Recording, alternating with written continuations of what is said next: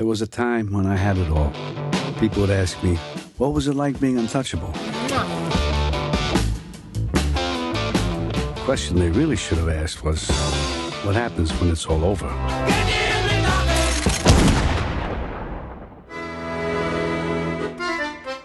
You set a good example by snitching on your friends in the mob. We're not in Brooklyn anymore. I don't think there's anywhere further from Brooklyn than this rat hole. I'm sick of being in witness protection. Welcome to France. Try to fit in. I'm getting tired of finding you a new place to live every 90 days. So, do we still have the same names? No, we are the Blake family. Anything to report?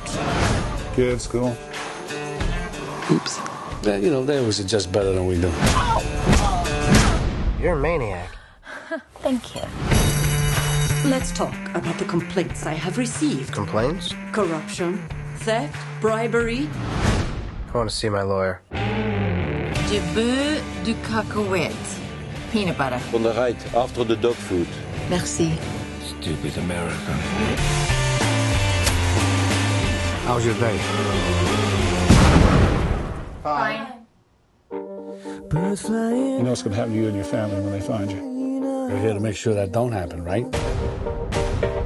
Try not to make my job impossible. They're somewhere. Find them. It's a cleanup operation. Get that family out of there. I confess it's been years since I went to confession. Your family's the incarnation of evil. What is all this grief about? Can I use your phone? You don't lend your phone. I gotta find my kids. You're insane. I know.